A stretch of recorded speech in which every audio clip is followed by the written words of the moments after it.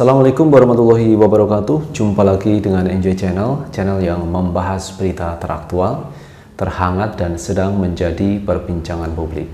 Teman-teman kali ini yang akan kita bahas Mengenai pernyataan yang disampaikan oleh Andi Malarangeng Terkait pernyataan yang disampaikan juga oleh Ali Muhtar Ngabalin. Di mana Ali Muhtar Ngabalin ini menyampaikan ucapan selamat kepada Pak Muldoko atas terpilihnya menjadi Ketua Umum Partai Demokrat versi KLB.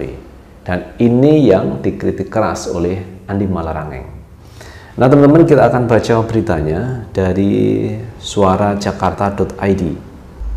Andi Malarangeng semprot Ali Mohtar Ngabalin kasih selamat kepada Muldoko abal-abal. Nah ada abal-abalnya teman-teman.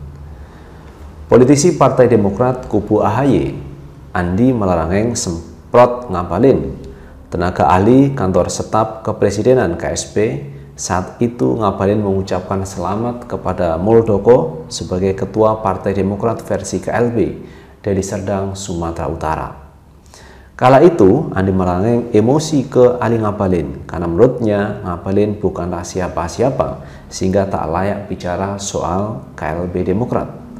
Persetujuan antara kedua politisi itu terjadi saat keduanya tampil live di program Apa Kabar Indonesia yang ditayangkan di TV One seperti yang dilihat pada Senin 8 Maret 2021. Ngabalin merasa sah-sah saja mengucapkan selamat kepada Muldoko lantaran ketua KSP itu menurutnya adalah kawan sekaligus atasannya di kantor staf presiden. Saya kira sah-sah saja ketika beliau dipilih secara aklamasi dan saya sebagai kawan, anak buah, ucapkan selamat atas amanah yang diberikan kepada Muldoko, ujar Ali Ngabalin. Jadi menurut Ali Ngabalin ini amanah yang diberikan oleh peserta kongres yang didaulat menjadi ketua umum Partai Demokrat versi KLB. Lalu apa tanggapan dari Andi Melangeng teman-teman terkait ucapan selamat Ali Muhtar Ngabalin kepada Muldoko yang didaulat menjadi ketua umum Partai Demokrat? Mendengar hal itu, Andi Malarangeng sontak bereaksi keras. Ia menilai Ali Ngabalin bukan siapa-siapa, sehingga menurutnya tak layak membahas soal Demokrat. Pertama saya pertanyakan kehadiran Ngabalin di sini. Bicara soal KLB Demokrat, tak pantas memuji selamat kepemimpinan apa, amanah apa, amanah abal-abal. Mestinya Anda tidak bicara soal Demokrat, tidak usah, tidak perlu kantor staf ikut campur dalam hal ini. Kesal Andi Malarangeng.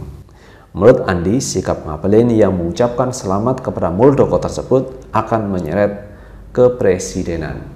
Wow, ini akan bisa menyeret kepada presiden teman-teman terkait pernyataan yang disampaikan oleh Ali Muhtar Ngabalin yang menyampaikan ucapan selamat kepada Pak Muldoko atas terpilihnya secara aklamasi sebagai ketua umum Partai Demokrat yang baru versi KLB.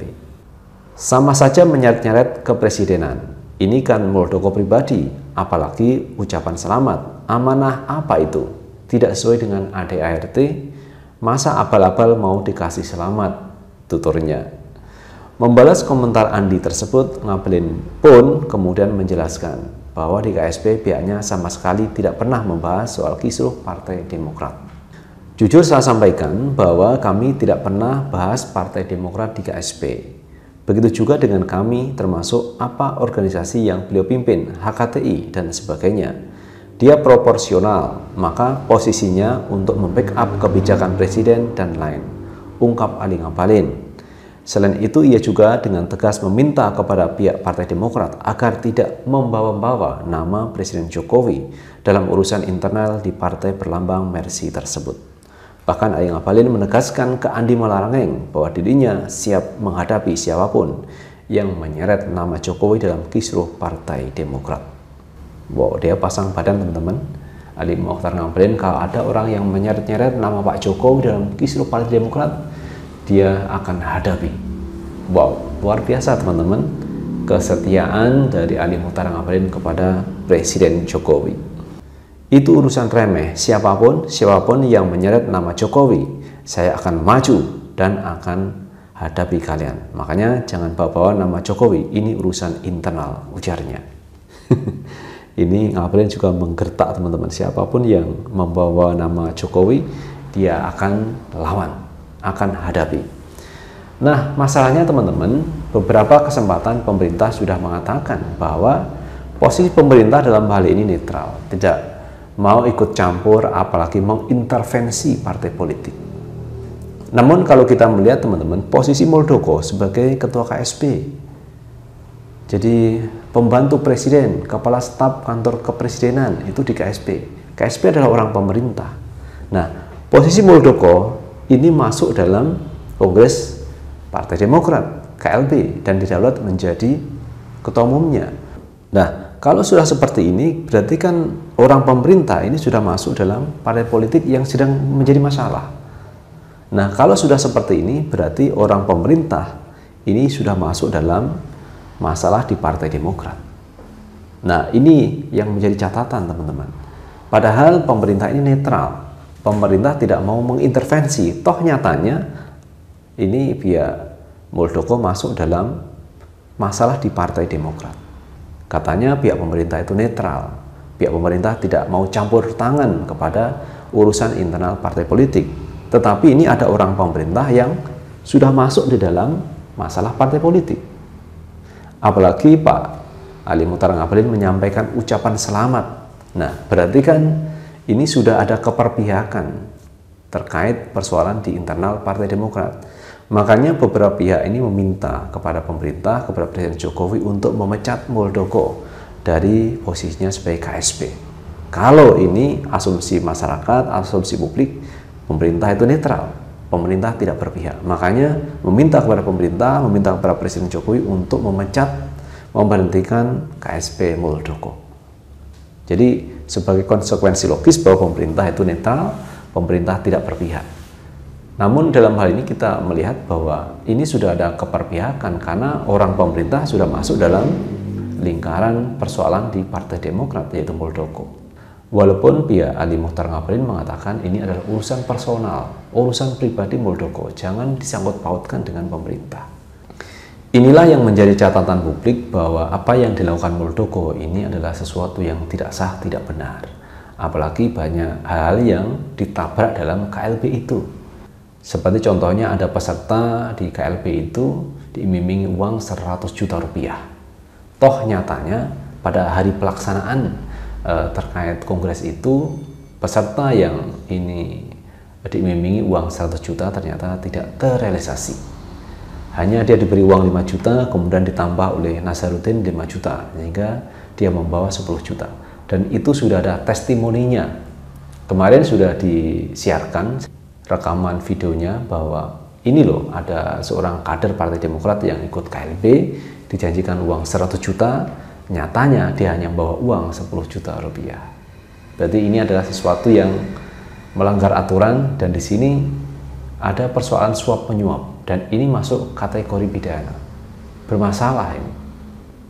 Nah ini salah satu hal yang dianggap ini adalah kongres abal-abal, kongres dagelan kongres ilegal yang disampaikan oleh pihak AHY. Di samping itu juga ada aturan bahwa kongres luar biasa itu bisa digelar kalau pesertanya minimal 2 per 3 dari anggota DPD yang memiliki suara sah tentunya. Jadi yang memiliki suara sah itu adalah ketua DPD. Kemudian syarat yang kedua yaitu harus separuh dari anggota DPD yang hadir di Kongres Partai Demokrat, Kongres luar biasa Partai Demokrat. Kalau kemarin menurut catatan dari pihak ada sekitar 30 DPC yang ikut dalam Kongres Partai Demokrat. Padahal syarat KLB itu adalah separuh dari jumlah DPC yang jumlahnya ada 514 kalau tidak salah. Jadi separuhnya eh, sekitar 250 lebih sedikit lah. Ini peserta yang harus hadir dalam acara kongres luar biasa.